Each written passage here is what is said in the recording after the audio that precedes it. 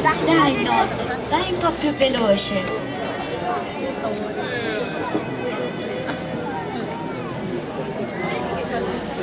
Stai lì, eh, stai qui. Nonna, prima di andare a letto mi racconti una fiaba? Ecco, c'era una volta una famiglia.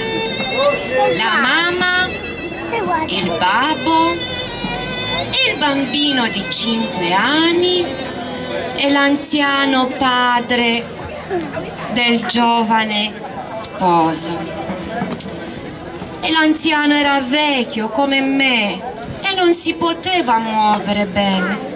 E quando mangiava gli tremavano le mani e tutta la minestra le andava sui vestiti. E quando prendeva il piatto, tante volte, lo buttava intera e lo rompeva.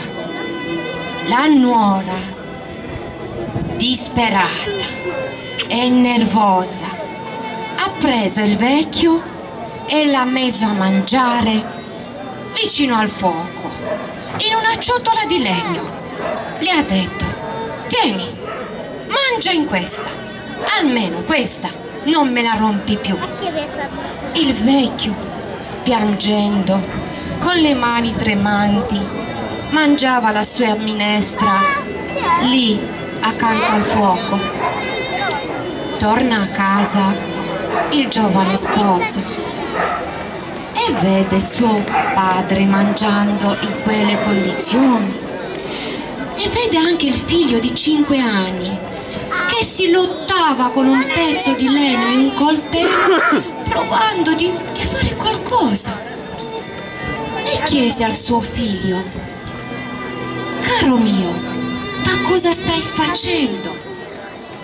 Il bambino lo guardò e disse babbo ti faccio una ciotola di legno. Così quando sarai vecchio avrò in che cosa darti da mangiare.